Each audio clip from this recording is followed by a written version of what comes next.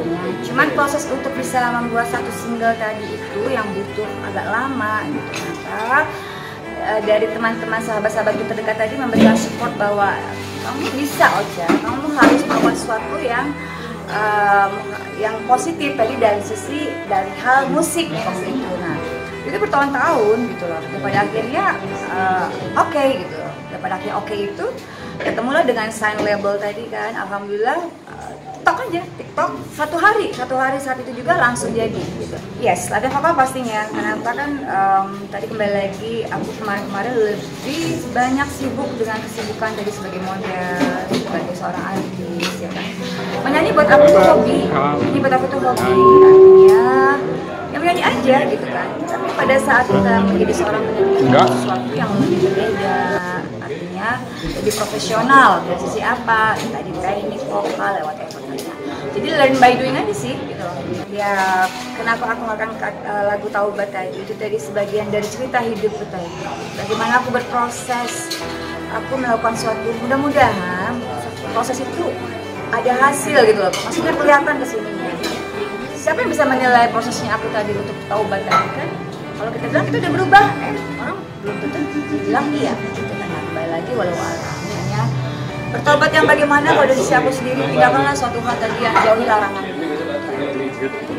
Jauhi larangannya itu kan banyak hal ya enggak nah dari, dari video klipnya aku itu itu ada sebagian dari ceritanya aku tadi. Ya begitulah. Tapi maksudnya itu sih hal-hal yang maksudnya biasa dilewatin anak-anak muda gitu ya. Maksudnya uh, segmen masyarakat sekarang kan tidak permasalahan sedang untuk lifestyle seperti itu. Mama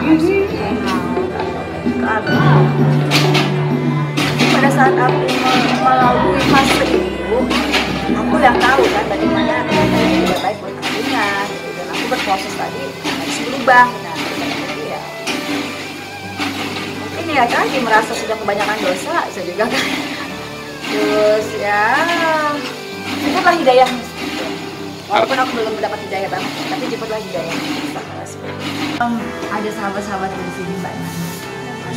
Ya dan kemudian beliau membawa aku ke Bang Sofia dengan lingkunganku yang sekarang alhamdulillah tadi uh, wadah buat aku sendiri ya. Wadah buat aku tadi. Kalau aku lagi mengalami hal yang terburuk, terpuruk atau terburuk sekalipun aku nggak mengalami hal yang sifatnya yang manusia ya kadang-kadang ya namanya stres suka keluarga. Luar biasa. Keluarganya pasti luka ya. Nah, karena kenapa mereka nggak berharap aku menjadi uh, posisi yang seperti sekarang? Kenapa aku sekolah? Aku disekolahkan dengan sekolah tinggi. Aku dimasukkan ke pendidikan agama yang baik. Ya tadi kan karena kita berdasarkan norma masyarakat tadi itu kan ya ya kecewaannya di situ. Masalah didukung tidaknya yang pasti aku harus menghadapi nge-backup dalam artian membesarkan mental ya. Menyalakan ya pastinya juga kan.